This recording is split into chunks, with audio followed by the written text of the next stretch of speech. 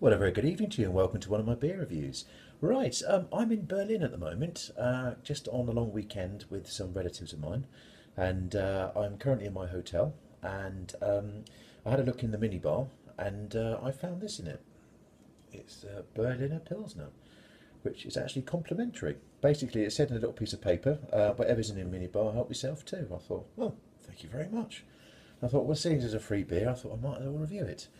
Never had it before, and I've done a little bit of research on it. And uh, the brewery is pretty old. Well, it's very old actually. It goes back to 1902. And the Berliner Pilsner is a classic beer that they've brewed pretty much since they started production. Uh, it's five percent, and um, obviously it's a German Pilsner style lager.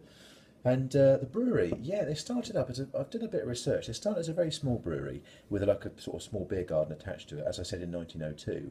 And um, it's had a bit of a checkered, a checkered history though, because um, in 1969 it was nationalised by East Germany. Basically, it became owned by the East German state.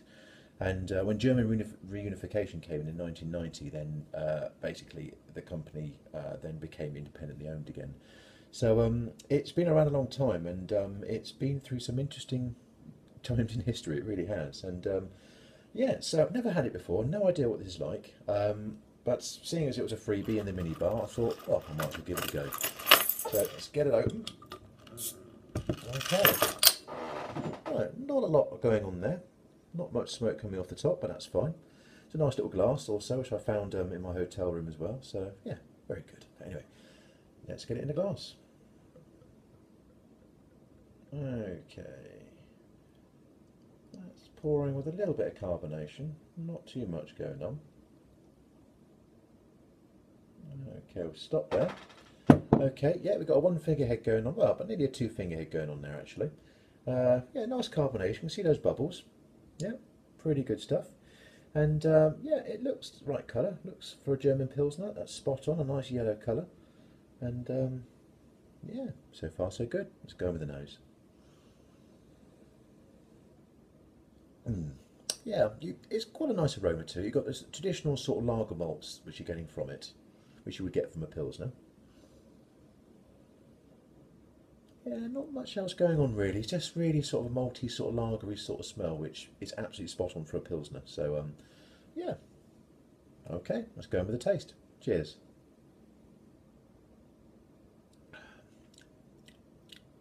Mmm.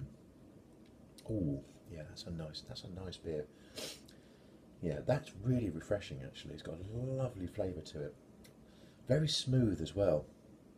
Really, really smooth. There's no bitterness at all, which you sometimes get from lagers.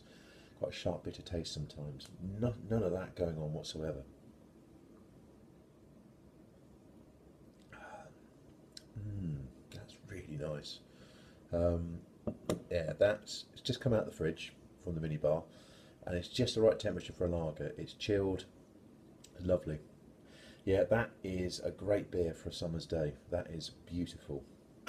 Yeah, I mean, some people think that I'm, I've, in the past I've been anti-lager. Well, occasionally I have been, uh, but um, I always appreciate a really good, well-made lager, and that's a proper German Pilsner, and that's an extremely good example of one. Really, really good. Um, yeah, the Berliner Pilsner, which is brewed here in Berlin. As I stated, uh, this is a 330ml bottle. Uh, it's coming in at 5%. Would I drink it again? Yeah, absolutely I would. Yeah, it's really, really nice. It's a lovely example of a German Pilsner. So, what would I give it out of 10? Well, guys, for me, I think it's an 8. It's an 8 out of 10 beer. It's really, really good stuff.